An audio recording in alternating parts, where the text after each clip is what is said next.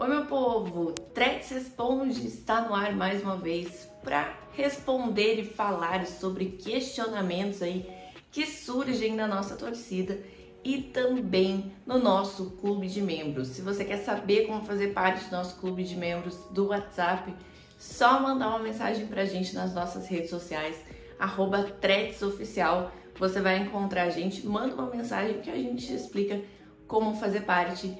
E hoje vamos falar de um assunto que está cada vez mais recorrente, está mais aí na boca do povo, sendo assunto de discussões desde que Martim Varini tem aplicado seu estilo de jogo no Atlético. Eric está sendo muito sacrificado? A resposta mais simples, prática e curta para essa resposta, sim, o Eric vem sendo é, sacrificado porque ele está fazendo ali duas funções em campo. Para quem vem acompanhando, né, ele faz ali lateral direito e volante ao mesmo tempo, numa espécie de uma dança que acontece durante o jogo todo. Porém, há nuances dentro dessa resposta que tem seus lados positivos e também seus lados ruins, né? Expõe aí lados ruins, talvez do elenco e também expõe qualidades do Eric. Mas antes da gente falar também do Eric, nessa dança quem participa muito também é o Christian. Talvez muitas pessoas não tenham aí notado ainda, mas o Christian também acaba fazendo parte dessa dança ali de movimentos do Eric, porque ele também volta para recompor quando o Eric está na lateral. O primeiro ponto que eu quero colocar aqui para vocês é que o Eric tem sido sim sacrificado para fazer essa função e expõe uma qualidade aí um pouco ruim do nosso elenco, que são os nossos laterais direito, que não corresponderam, né? Não tem aí, mostrar não ter a qualidade talvez suficiente para fazer exatamente aquilo que o Martin Varini quer que seja feito durante o jogo. E o Eric se mostrou como uma boa opção para fazer aí o que ele vem é, fazendo durante os jogos.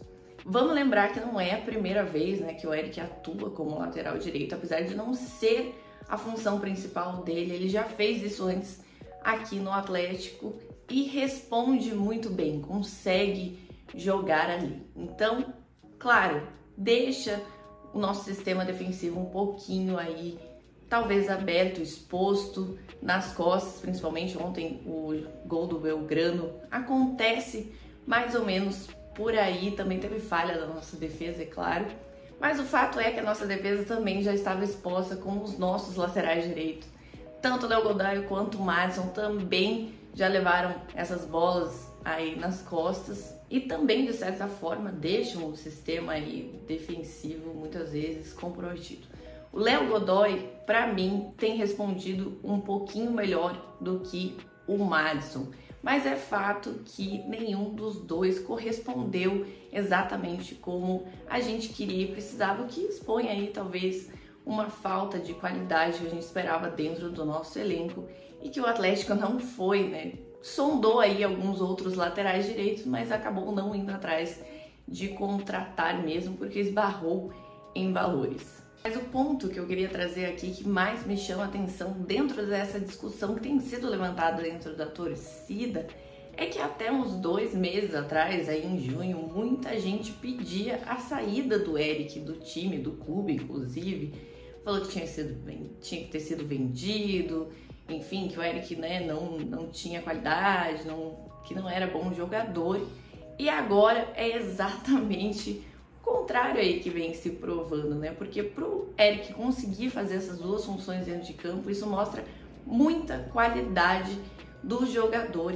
E é claro, é um sistema novo de jogo, é um comportamento novo ainda para ele dentro de campo, mas que ele tem correspondido muito bem, provando aí muitas vezes que na sua saída quando entra aí um lateral direito de ofício de verdade, acaba, né, que expõe todo o time ali, levamos gols assim nesses jogos importantes, acabaram não comprometendo tanto, mas o fato é que levamos.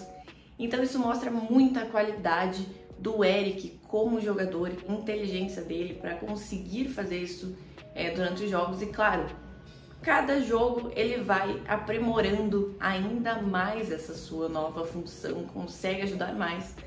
Tanto é que contra o Belgrano ele consegue subir, é sua característica principal aí, que é de infiltração, de subir na área e marcar o seu gol. Então o papo lá adiante de que o Eric não servia mais pro Atlético vem sendo muito mudado aí e provando que o jogador sim é um jogador de qualidade e muito importante pro nosso elenco. O Atlético acertou em manter ele aí no time, acabaram não vendendo. E a torcida própria está começando a ver isso, acompanhar isso. Eu acredito que aos poucos, quanto mais ele estiver acostumado a esse novo jeito de jogar, vai ser mais natural e ele vai conseguir mais vezes ainda também aparecer na área para marcar gol, como fez contra o Belgrano. Então, sim, o Eric vem sendo sacrificado, mas ao mesmo tempo tem sido peça muito importante e chave para esse time do Atlético e para esse novo, principalmente para esse novo esquema, esse jeito de jogar que o Martin Varini está implementando dentro do Atlético. Eu acredito sim que terá aí jogos que talvez ele tenha que abrir mão dessa ideia, vai ter que colocar os laterais direito para jogar, mas fato é que o Eric tem sido o nosso melhor lateral nesses jogos e tem feito aí essa função muito bem. É papo ali da gente, né, ir se acostumando o próprio time e entendendo melhor a defesa, é, entendendo melhor também é, esse novo posicionamento para não ficar tão exposto assim e também não cometer tantos erros que acabam sendo erros individuais que nos têm custado aí gols em todos os jogos.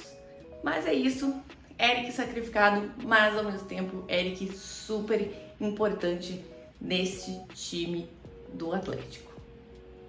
E você também tem perguntas aí, quer mandar suas perguntas? Faça parte do nosso clube de membros que a gente vem aqui e responde também dúvidas que surgem lá para a gente bater um papo aí sobre tudo que acontece dentro do Atlético. E vocês já sabem que tudo isso é discutido aqui dentro da Threads. Então não esquece de deixar o like, se inscrever no canal, se conhece alguém que não é inscrito ainda também, gosta do Atlético, manda para a pessoa para nos ajudar a crescer cada vez mais e mais. É isso, pessoal. Até a próxima.